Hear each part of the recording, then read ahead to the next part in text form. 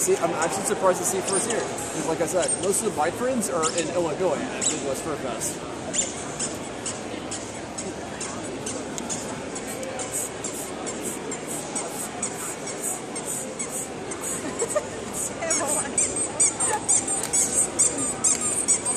I'd be having fun too, right?